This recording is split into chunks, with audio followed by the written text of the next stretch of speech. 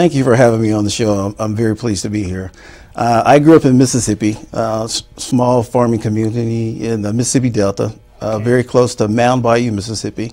Uh, my father was a dirt farmer. My mom uh, essentially stayed home and took care of the kids, took care of my father. Uh, so, having grown up on a farm, I definitely wanted to get out. So, university university education was the key for me. So, I went to Mississippi State University, got my bachelor's and master's degree there, uh, master's in public affairs and administration. Uh, after I graduated, I went off to the University of Missouri, Columbia, where I got a PhD in political science. And probably two or three years in, I figured out what I wanted to do, and that was to be a college professor. And I've had a pretty good run at, at being a professor. Uh, I, I graduated in '96 from the University of Missouri, went on to a small school in Kentucky, and then I went back to my alma mater, taught there for three years, uh, was eventually tenure promoted, and decided, you know, I want to do something a little bit different. So I went to work at the Congressional Budget Office. Probably the single most, you know, good thing I've ever done for my career. Uh, students appreciate practical applications, and when a professor can get some practical applications, it's a great thing. But probably three or four months into the Congressional Budget Office, I realized I really like being a professor. I love my job, but the reality is, I just wasn't an eight to five person. You know, growing up on a farm, I worked on the farm every summer.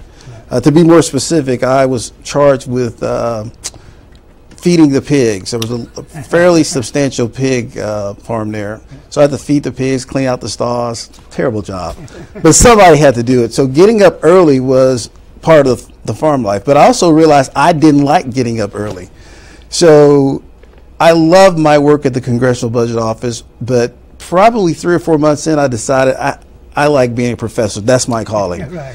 So I ended up back at, back south in the University of Memphis, which is very close to my family. Um, in fact, my daughter uh, was there, so I we we moved back down there and started teaching at the University of Memphis, and I was there for nine years, uh, teaching in the school of urban affairs and, and public policy. Uh, then I got a call from the University of Missouri. Had some friends there. It's like, hey, why don't you come join us? So that was my stop before I came here. Uh, I left the University of Memphis as chair of the department. I went to the University of Missouri. Uh, within a few months, I became the associate dean uh, there with my uh, good friend Bart Wechsler. And for five years, essentially, we did some really good things. But, you know, where I was left at that point was, you know, I've always been a person that, you know, what are we doing to help people in a more realistic way?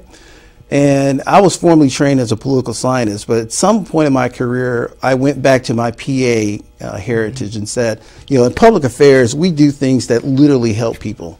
So, um, one of the things that I was working on at the Congressional Budget Office was, was healthcare issues, CHIP to be more specific. Okay. So I started back doing research in that area, started doing some budgeting and finance work, and I essentially abandoned all of the political science work I, I'd done. And I'd, I'd been pretty successful in, in that venue.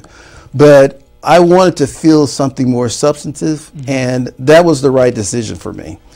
So, you know, you're publishing research. Uh, at some point, I decided, you know, there's still something more to be had. And that's how I ended up here because I've never worked at a university that says the university's goal is to be an anchor institution. Um, and the chancellor is the one that's driving it. Now, the University of Memphis actually fell into that same mode. The school that I was in, also, we consider ourselves an anchor institution, the school, Okay. but not the university. Gotcha. And here we have the whole university. That changed everything for me.